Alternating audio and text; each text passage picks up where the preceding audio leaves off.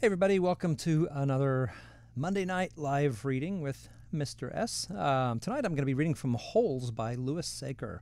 Um, Holes is described on the back cover of this particular version this way Stanley Yelnats is under a curse. A curse that began with his no good, dirty, rotten, pig stealing great great grandfather and has since followed generations of Yelnatses. Now Stanley has been unjustly sent to a boys' detention center, Camp Green Lake, where the boys build character by spending all day, every day, digging holes exactly five feet wide and five feet deep. There is no lake at Camp Green Lake, but there are an awful lot of holes.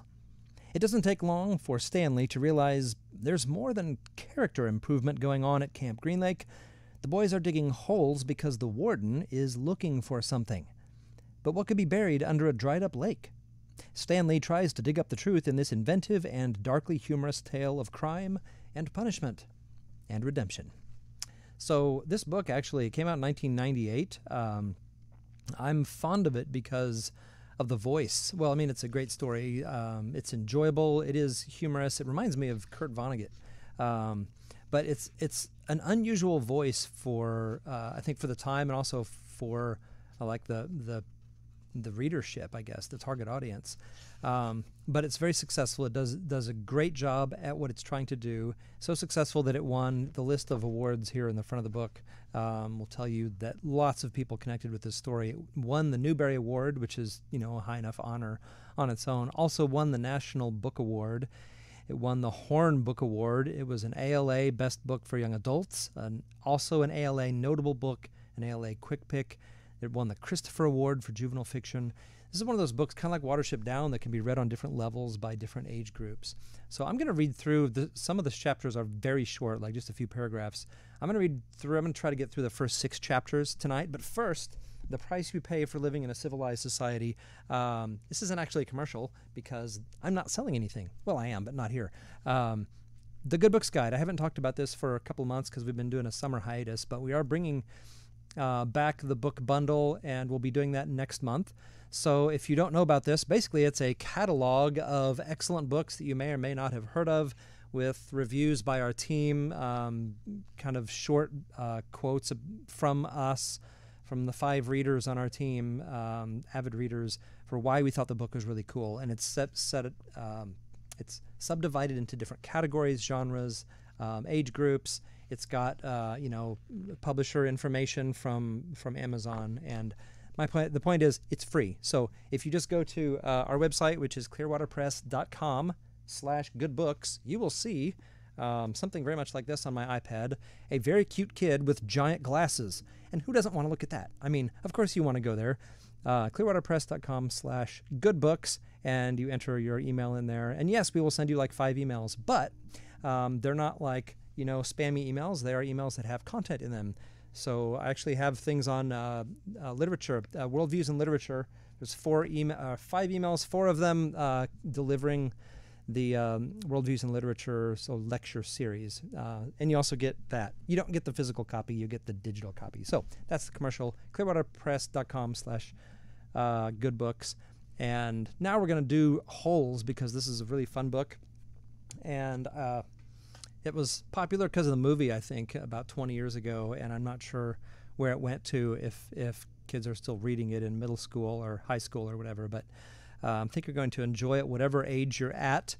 Um, this is Holes by Louis Sachar, Part One. You are entering Camp Green Lake. One. There is no lake at Camp Green Lake. There once was a very large lake here, the largest lake in Texas. That was over a hundred years ago. Now it is just a dry, flat wasteland. There used to be a town of Green Lake as well. The town shriveled and dried up along with the lake and the people who lived there. During the summer, the daytime temperature hovers around 95 degrees in the shade, if you can find any shade. There's not much shade in a big, dry lake. The only trees are two old oaks on the eastern edge of the lake. A hammock is stretched between the two trees, and a log cabin stands behind that. The campers are forbidden to lie in the hammock. It belongs to the warden.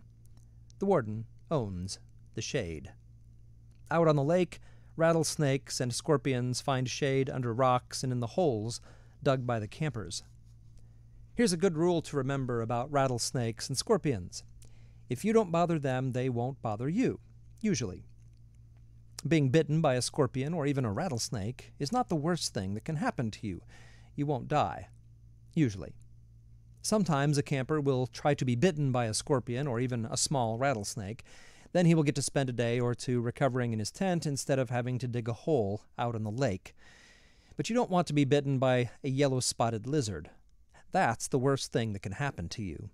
You will die a slow and painful death. Always. If you get bitten by a yellow spotted lizard, you might as well go into the shade of the oak trees and lie in the hammock.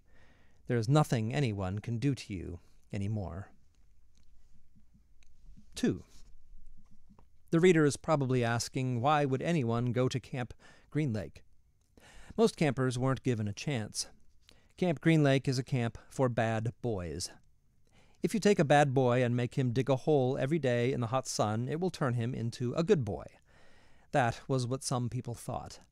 Stanley Yelnats was given a choice. The judge said, You may go to jail, or you may go to Camp Green Lake. Stanley was from a poor family. He had never been to camp before. 3. Stanley Yelnats was the only passenger on the bus, not counting the driver or the guard. The guard sat next to the driver with his seat turned around facing Stanley. A rifle lay across his lap. Stanley was sitting about ten rows back, handcuffed to his armrest. His backpack lay on the seat next to him. It contained his toothbrush, toothpaste, and a box of stationery his mother had given him.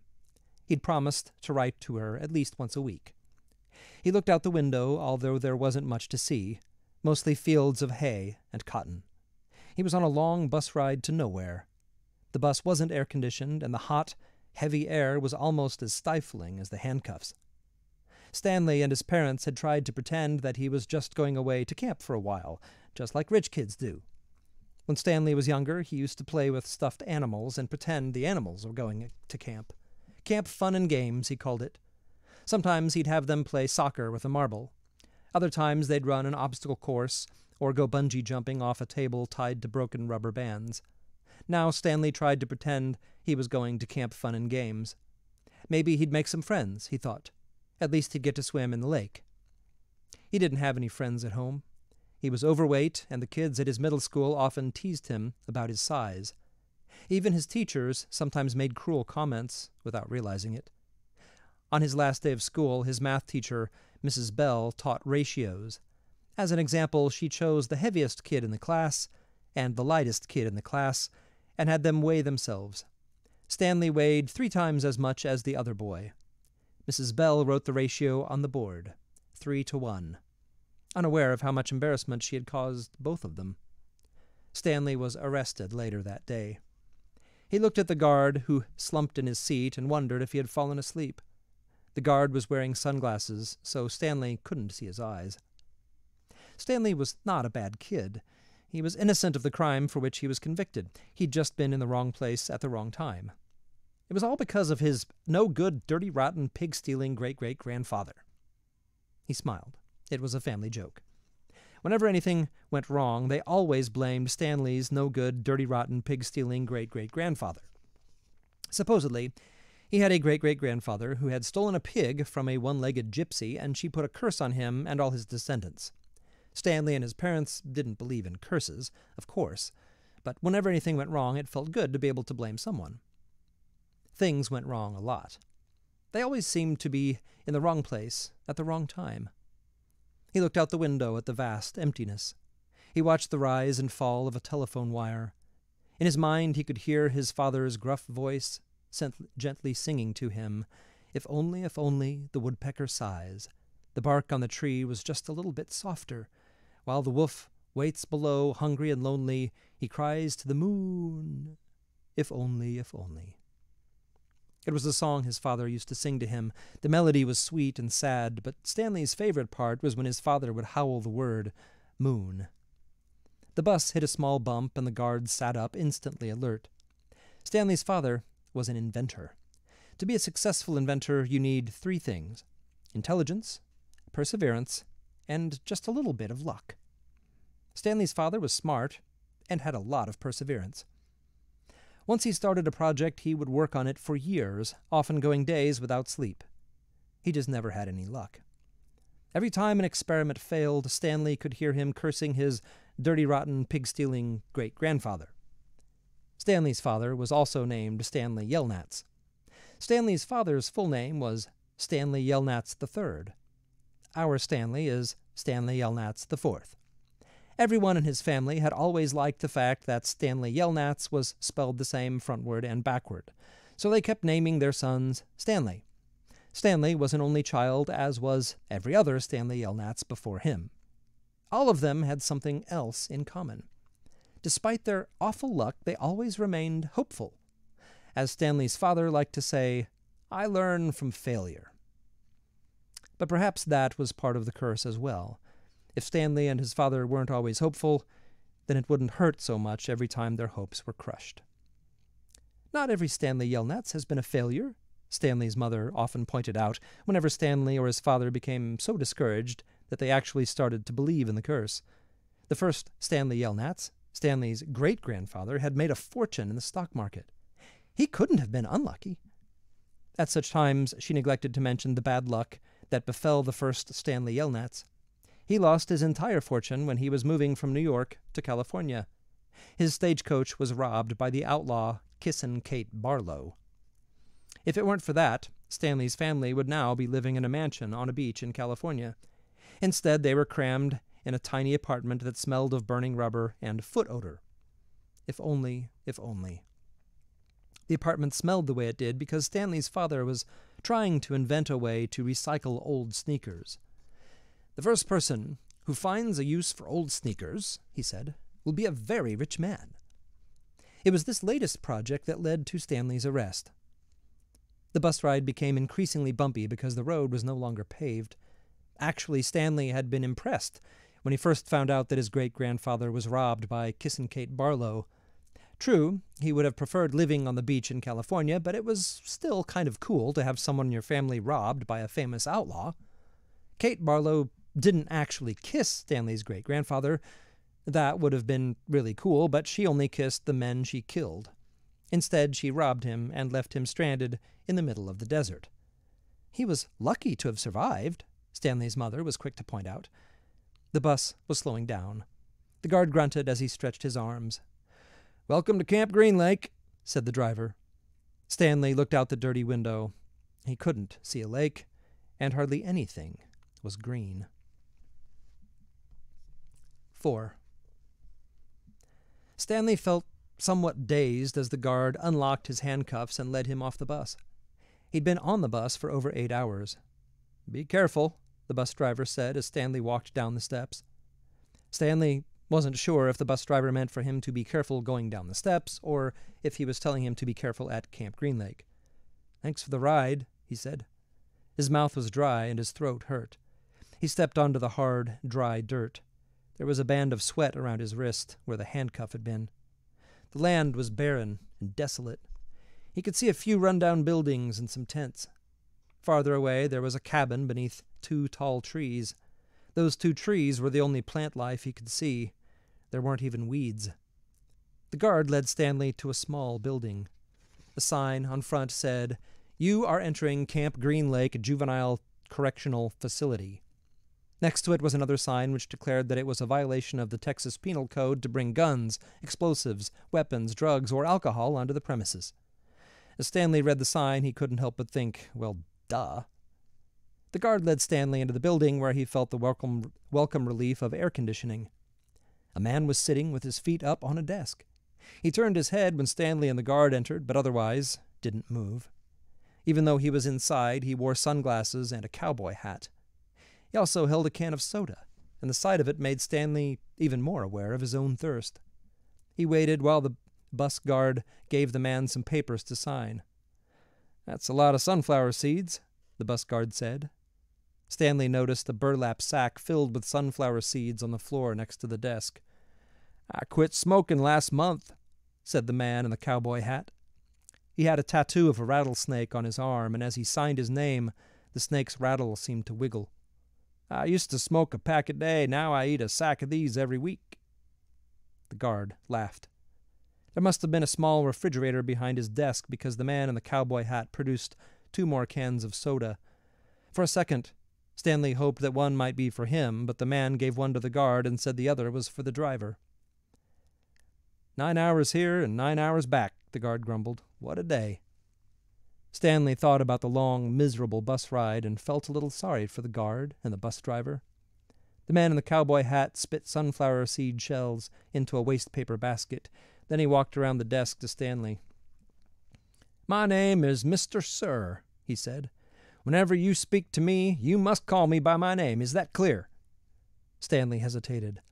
Uh, yes, Mr. Sir, he said, though he couldn't imagine that was really the man's name. You're not in the Girl Scouts any more, Mr. Sir said. Stanley had to remove his clothes in front of Mr. Sir, who made sure he wasn't hiding anything. He was then given two sets of clothes and a towel. Each set consisted of a long sleeve orange jumpsuit, an orange t shirt, and yellow socks. Stanley wasn't sure if the socks had been yellow originally.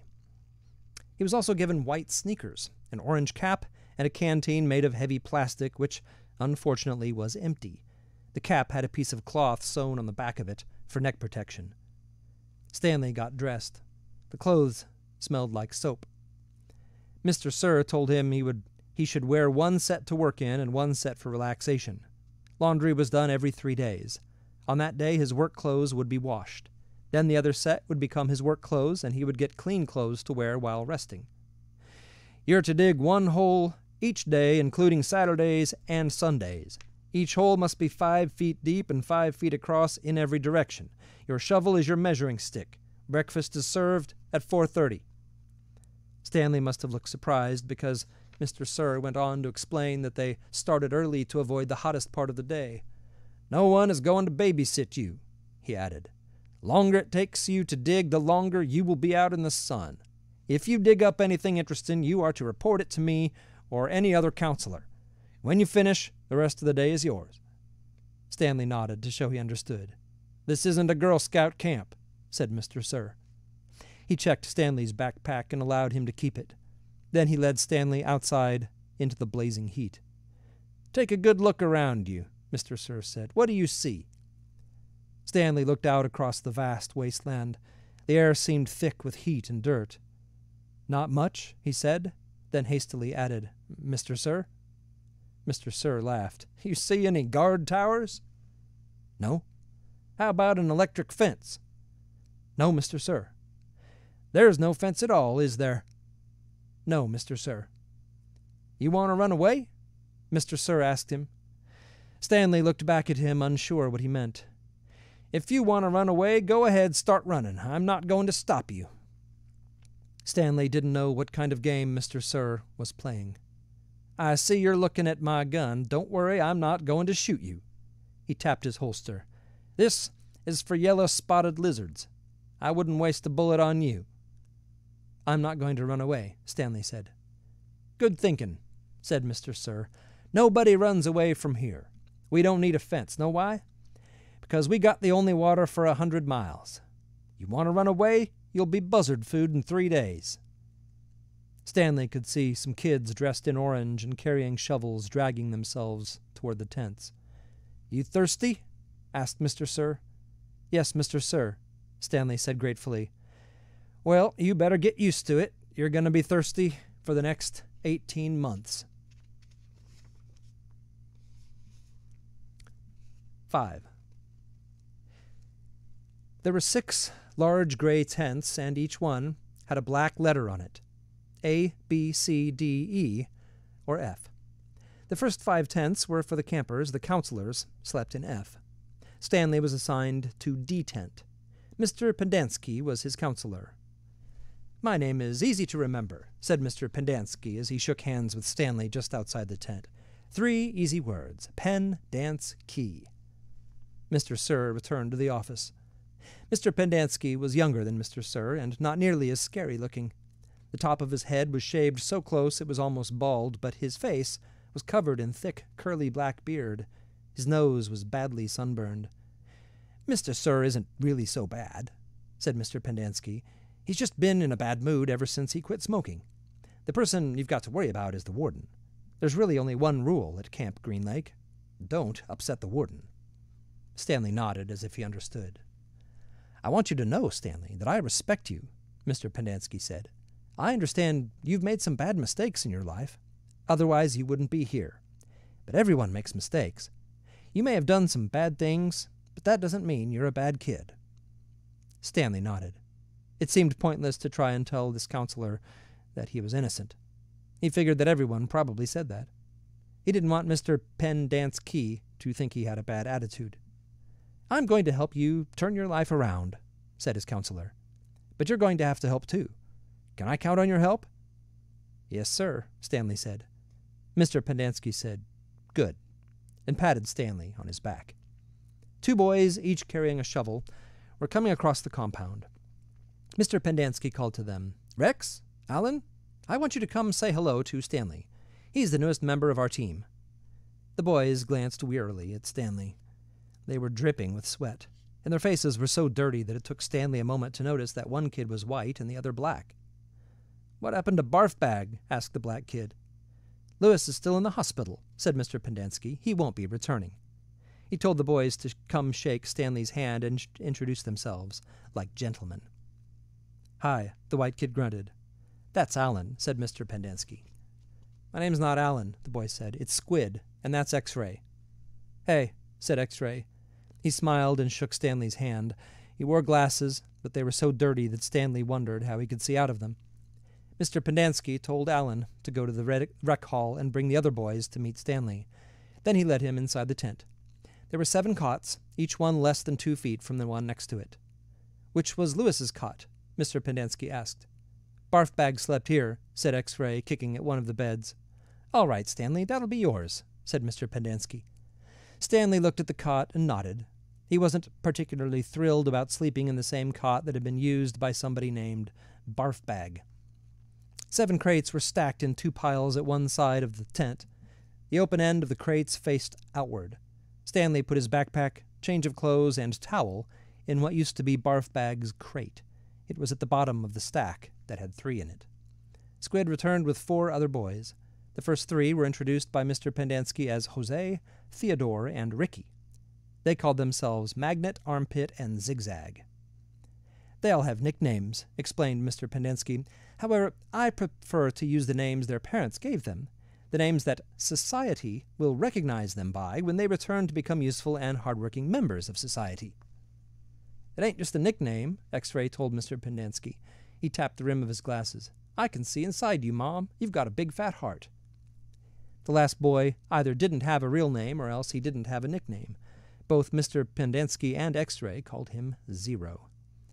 You know why his name's Zero? asked Mr. Pendanski. Because there's nothing inside his head. He smiled and playfully shook Zero's shoulder. Zero said nothing. And that's Mom, a boy said. Mr. Pendanski smiled at him. If it makes you feel better to call me Mom, Theodore, go ahead and call me Mom. He turned to Stanley. If you have questions, Theodore will help you. You got that, Theodore? I'm depending on you. Theodore spit a thin line of saliva between his teeth, causing some of the other boys to complain about the need to keep their home sanitary.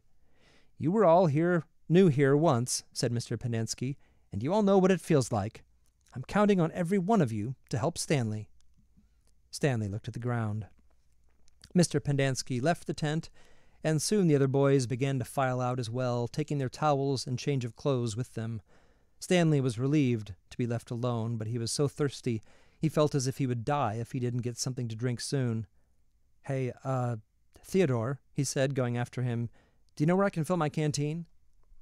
Theodore whirled and grabbed Stanley by his collar. My name's not Theodore, he said. It's Armpit. He threw Stanley to the ground. Stanley stared up at him, terrified. There's a water spigot on the wall of the shower stall. Thanks, Armpit, said Stanley. As he watched the boy turn and walk away, he couldn't for the life of him figure out why anyone would want to be called Armpit. In a way, it made him feel better about having to sleep in a cot that had been used by somebody named Barfbag. Maybe it was a term of respect. All right, so that is the first the first five chapters of uh, of Holes. Um, I hope you enjoyed that. It, it strikes me every time. It's been a while since I've read this. Um, I I think one of the things he does well in here. I'd forgotten. I'd remembered the voice, but the way he gets across characterization through dialogue without lean, relying on accents. I mean, I added. A, I tried to add a little bit of a accent because of the cowboy hat and the um, the uh, first guy, Mr. Sir. Um, but the way he gets across what Mr. Pendanski's attitude is through the language of his dialogue and through the way the kids talk to him and the way he talks to them is just really masterful. Um, it's it's like excellent storytelling, and he doesn't call attention to it. He doesn't. the The kids don't actually process it the way you do as a reader. Um, Stanley doesn't process it for us and tell us what's going on. He's apparently not understanding, but we understand, and so getting information past uh, past the main character to the reader like that through the reader, even even though it's through the reader's perspective, is a pretty cool technique. Anyway, I hope you enjoyed this. And um, if, in case you didn't, if you just joined us and you didn't uh, get the URL, I will repeat it for you because I'm nice like that. The Good Books Guide, the digital version, free, clearwaterpress.com slash good books. And uh, next week, I'm going to be reading from um, very different prose from last week when I did uh, The Stainless Steel Rat. I'm going to be doing The Martian Chronicles by Ray Bradbury. Martian Chronicles uh, is a brilliant, brilliant collection of short stories by Ray Bradbury. If you're not a science fiction fan, um, there may be one person's prose that can convince you that some science fiction writers can actually be literary. And um, I guess Kurt Vonnegut could count as that too. But um, yeah, the Martian Chronicles is delightful and the prose is wonderful. And so if you're more of a, if that's more your your jam, is something that's a little more, um, uh, I don't know if highbrow is the right word because it's science fiction, but but if Stainless Steel Rat wasn't your thing last time, um, don't give up on science fiction altogether. At least give a listen to Ray Bradbury's Martian Chronicles next Monday. All right, have a good night, everybody, and thanks for watching.